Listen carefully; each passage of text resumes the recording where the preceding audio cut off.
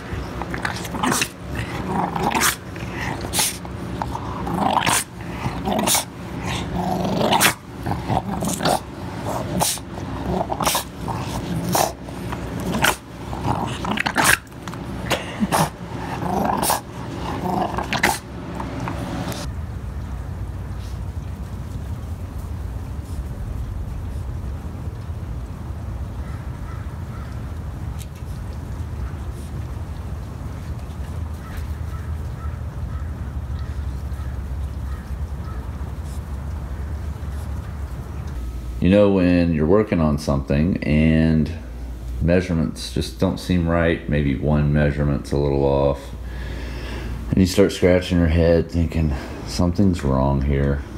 Well, it fucking is. I promise you, every fucking time. Follow your gut instinct. God, oh, motherfucker.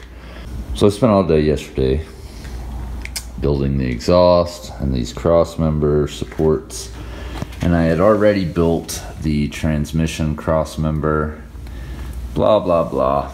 All of this was built, and all along the way, I noticed that my drive shaft was about five inches shy of where it should be, and I knew for a fucking fact that this car is the exact same length as the 56.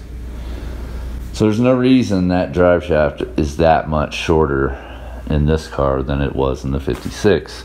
Then I start looking at how close the shit would be. If that's where the radiator is gonna sit, the fan's gonna be behind that. What the fuck? Okay, so then I'm thinking, that's not right. And then I look down here and I'm like, oh yeah. The fuckers recommend in the 56 to set the engine forward a few inches two to be exact, by buying these adjustable mounts and putting everything together because of the way the motor sat in the 56.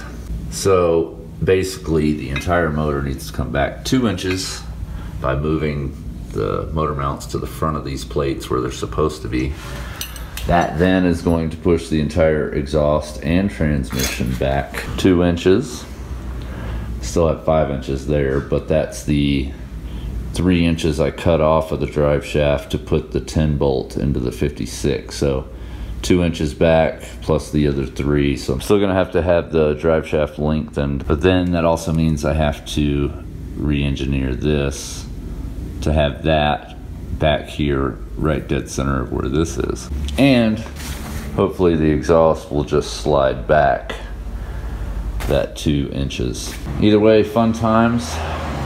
I now need to pull the motor and trans out, get those motor mounts swapped to the proper spots, set everything back in here, re-engineer this, put the exhaust back in, hope everything lines up, adjust it if it doesn't.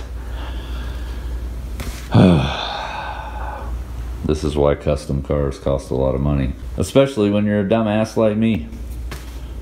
So like if you like, subscribe if you want to see more click the little bell if you want to be notified as soon as it's uploaded. And as always, keep on modding.